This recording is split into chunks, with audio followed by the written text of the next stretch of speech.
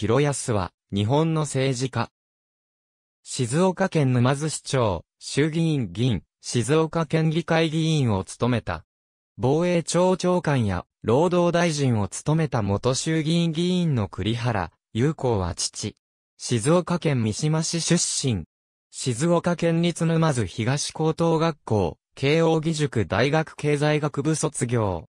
参考期選勤務を経て、衆議院議員で父である、栗原友好の秘書を務める。1991年、静岡県議会議員選挙に立候補し、初当選。1993年、静岡県議を任期途中で辞職。父の引退に伴い、旧静岡2区の地盤を引き継いで、第40回衆議院議員総選挙に自由、民主党公認で立候補し、当選した。1996年の第41回衆議院議員総選挙では、小選挙区比例代表並立制の導入に伴い、静岡6区から自民党公認で立候補したが、旧民主党公認の渡辺天音らに敗れ、重複立候補していた比例東海ブロックで復活当選となり、再選。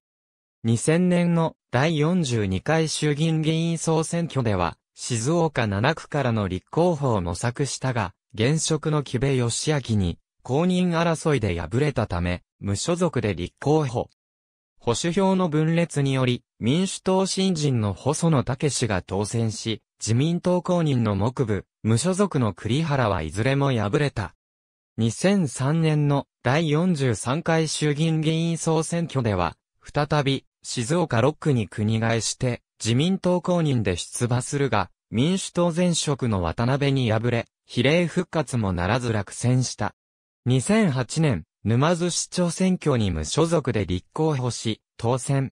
2012年、沼津市長に再選。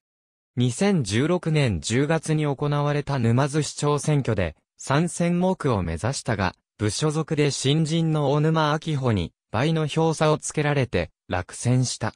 同年11月9日、任期満了により退任した。ありがとうございます。